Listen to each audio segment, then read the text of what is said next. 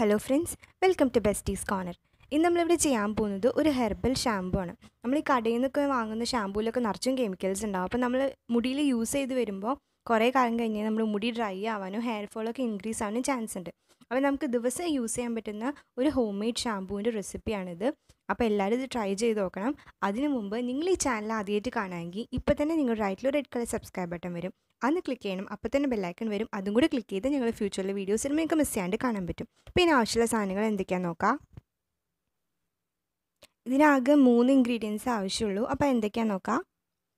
നന്നായിട്ട് ഉണങ്ങിയ നെല്ലിക്കില്ലേ നെല്ലിക്ക നന്നായിട്ട് ഉണക്കിയത് നമുക്ക് ഈ ആയുർവേദ കടയിൽ നിന്നൊക്കെ വാങ്ങാൻ കിട്ടും. എത്ര കിലോ ആയിട്ട് വേണമെങ്കിൽ കിട്ടും. അത് നമ്മൾ നന്നായിട്ട് ഒന്നുകൂടി ഉണക്കണം. പിന്നെ വേണ്ടത് റീത്ത. റീത്ത എന്ന് പറഞ്ഞു കഴിഞ്ഞാൽ ഈ സോപ്പ് നട്ട് അല്ലെങ്കിൽ ചാവക്കായ എന്നൊക്കെ പറയും. അങ്ങനത്തെ സാധനമാണ് നമുക്ക് ആയുർവേദ കടയിൽ നിന്ന് വാങ്ങാൻ കിട്ടും കേട്ടോ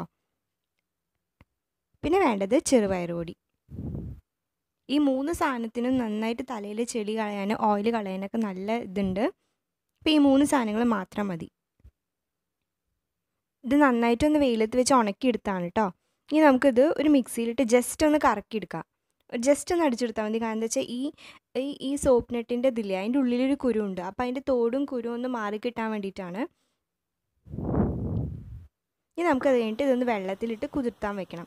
ഇന്ന് രാത്രി വെച്ച് കഴിഞ്ഞാൽ നാളെ രാവിലെ വരെ അങ്ങനെ തന്നെ വെക്കണം. അപ്പോൾ നന്നായി കുതിർന്ന് കിട്ടും. അപ്പോൾ കുതിർന്ന് കഴിഞ്ഞിട്ടുണ്ട്. നന്നായി വെള്ളമൊക്കെ അത് വലിച്ചെടുത്തിട്ടുണ്ട്.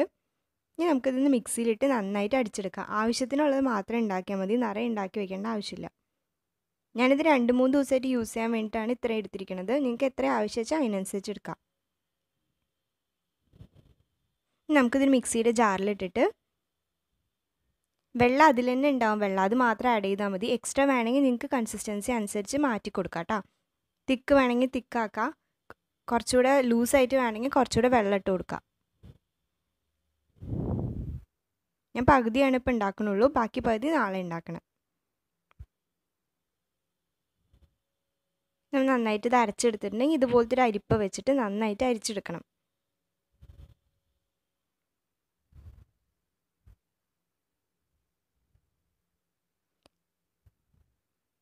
ഇതിന്റെ ഉള്ളിലത്തെ ആ പൾപ്പും ആ കുരുവിന്റെ സംഭവങ്ങളൊന്നും നമുക്ക് ആവശ്യമില്ല. അതിന്റെ ലിക്വിഡ് മാത്രം മതി. നന്നായി അരിച്ചിട്ട് അതിന്റെ ആ ജ്യൂസ് മാത്രം എടുത്താൽ മതി. നമ്മുടെ ജ്യൂസ് മാത്രമായിട്ട് കിട്ടിയിട്ടുണ്ട്. നന്നായി പതഞ്ഞ് വന്നിട്ടുണ്ട്. ഇനി നമുക്കിതൊരു ഷാമ്പൂവിന്റെ ബോട്ടിലോട്ട് മാറ്റാം. ഇത് പഴയൊരു ഷാമ്പൂവിന്റെ ബോട്ടിലാണ്. അപ്പോൾ ഞാൻ അതിലാണ് ഒഴിച്ച് വെക്കണത്. ഇത് നമുക്ക് ഉണ്ടാക്കിയിട്ട് ഫ്രിഡ്ജിൽ ഒരു ഒന്നോ രണ്ടോ ആഴ്ചയൊക്കെ വരെ കേടുകൂടാതെ ഇരിക്കും അപ്പോൾ നമുക്ക് കുറച്ച് ഉണ്ടാക്കി വെച്ച് കഴിഞ്ഞാൽ കുറേ നാൾ യൂസ് ചെയ്യാൻ പറ്റും. നന്നായി പതഞ്ഞ് വരും.